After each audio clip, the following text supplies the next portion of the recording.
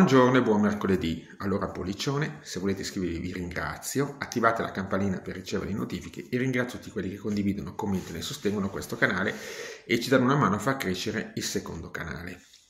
Eh, il link per il secondo canale ve lo metteremo ogni tanto in descrizione di questi video e eh, lo metterà Alessandra nei post, eh, anche lì ogni tanto. Allora, le lavorazioni sono state, pagamenti per il 26, alcuni hanno visto data del 27 e pagamenti in corso, come è successo negli altri mesi. Anche negli altri mesi sono partiti con il 26, ne hanno pagati pochi il 26, la maggior parte il 27, cioè oggi. E alcuni li riceveranno anche domani, a differenza dell'RDC in cui c'era una data, il 90% venivano pagati in quella data e pochi venivano pagati nei giorni successivi, qui si va a flusso. Una volta che partono vanno avanti anche nei giorni successivi a prescindere. In questo tecnicamente stanno copiando le norme che c'erano anche nell'RDC in cui Post Italiano aveva 4 giorni per effettuare la ricarica, però fattualmente raramente faceva cose di quel tipo, tranne negli ultimi mesi dell'RDC in cui letteralmente ha fatto, ha fatto il devasto. Eh, qui la norma è quella, ci sono degli altri problemi che sono venuti fuori. Sì, eh, chi ha dovuto fare la DICOM? Beh, si è trovato la lavorazione in sospeso, cioè non ha trovato la lavorazione. È altamente probabile che la motivazione sia l'aggiornamento dei dati. L'aggiornamento dei dati che una volta fatto farà riprendere le lavorazioni. Potresti anche ricevere la lavorazione di marzo, non adesso ma a metà aprile, oppure ritornare a eh, fine aprile e trovare la lavorazione arretrata di marzo anche a maggio. Ragazzi, io vi sto dando delle ipotesi, non prendete quello che dico come statutario. La logica direbbe hanno inserito i dati, fai la lavorazione ripre- e fai la ricarica di marzo a metà aprile, come se la gente vivesse d'aria, e poi a fine aprile riprendi con le lavorazioni normali. Ecco. Alcuni hanno, hanno avuto la dicitura accolta da sospesa hanno ricevuto la lavorazione di questo mese, mancano gli arretrati. Anche qui gli arretrati dovrebbero essere liquidati a metà mese. Quindi avete avuto la lavorazione di marzo, se vi aspettavano gli arretrati di gennaio e febbraio dovreste trovarli a metà aprile. Non so se ci saranno entrambi o uno a metà aprile o uno a metà maggio. Mm, detto, la misura è nata da troppo poco tempo per definire già qualcosa di sistematico. Per cui possiamo solo aggiornarvi eh, ogni volta che succede qualcosa.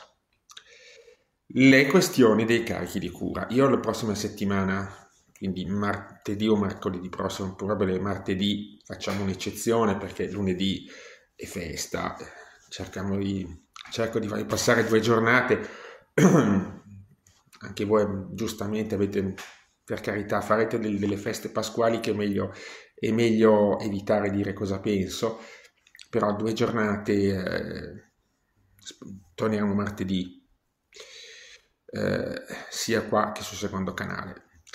Qui cercheremo, cercheremo di spiegarvi eh, il problema del, dell'inserimento dei dati con carichi di cura, perché ha ragione Miki, ha ragione moderatore, troppi di voi hanno inserito dati inutili, con il risultato di ingolfare il sistema, cioè se avete una situazione, cioè se avete una disabilità, i carichi di cura non c'entrano niente, sono una cosa completamente diversa, ma intasano il sistema, creano problemi e possono generare una situazione per cui la domanda gli viene respinta anche se avete diritto all'ADI. Pagamenti dell'SFL, anche qui eh, alcuni hanno già ricevuto le date, le lavorazioni sono state fatte tra venerdì e lunedì, alcuni hanno ricevuto le date, benissimo, eh, ovviamente le date messe come vogliono. E proprio per rispondere alla domanda di uno di voi ieri, non c'è da, un, un, orario in cui deve arrivare la ricarica. Se è un bonifico bancario, cioè con domiciliazione bancaria, i bonifici arrivano nell'arco della giornata, ma generalmente la mattina, addirittura anche di sera, anche di notte, ecco, eh, lo dico per esperienza diretta, ecco, diciamo così, ehm, possono arrivare anche di notte. Non avete una data, non avete necessità di certificazione, i bonifici dell'SFL non cioè, sono soldi vostri, non, non c'entra la carta, non, non, ci sono quel senso lì eh, limiti del prelievo, altro, non ci sono punto, perché sono mh, mm, depositi firmati in banca e lì ve li gestite voi. Stessa cosa eh, anzi là ancora, ancora, di più, se avete domiciliato tutto in posta. In posta vi arriva il modo di pagamento, voi andate a ritirare i soldi, vi danno tutti insieme in contanti, non è che vi danno un pezzo qui, un pezzo là, quindi ve li gestite voi per la cifra ridicola che è.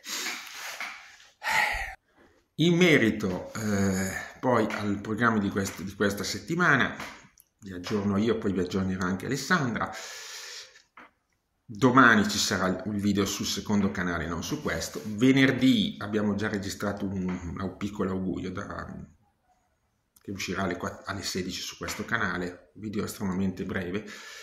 Se volete, se ve la sentite di passare un'oretta in compagnia, io faccio una live su questo canale ed è probabile che ci sia una live sul secondo canale già dalla prossima settimana, ma quelle sono live, se vi interessa farvi due risate fare quattro chiacchiere a, a, cavolo, sono live di gioco, sono live in cui si chiacchiera di tutto, ma non, non, delle cose che vi toccano di più, ecco, perché finalmente sembra che stia per arrivare l'autorizzazione. Ragazzi, io spero che troviate tutto quello che vi serve, che arrivino i soldi che vi aspettano. Purtroppo mi segnalano ancora problemi con l'utilizzo delle carte, problemi che letteralmente stanno, stiamo nel campo dell'assurdo, cioè perché uno la utilizza, acquista i beni che può acquistare e poi non gli passa e non si capisce perché, ecco. E so benissimo che non sarà una bella Pasqua. Uno di voi mi ha chiesto quando esploderà la bolla sociale, la bolla sociale è già esplosa. Il problema è che è esplosa ed è troppo silenziosa. Mm, questi hanno dei problemi all'udito, ma grossi, altro che Amplifor. A questi devi mettere nell'orecchio le, i trombettoni che si usavano sui vecchi, sui vecchi grammofoni, perché non ci sentono, non lo capiscono e hanno il tipico atteggiamento di chi da pancia piena non capisce chi ha la pancia vuota. Ciao a tutti, gente.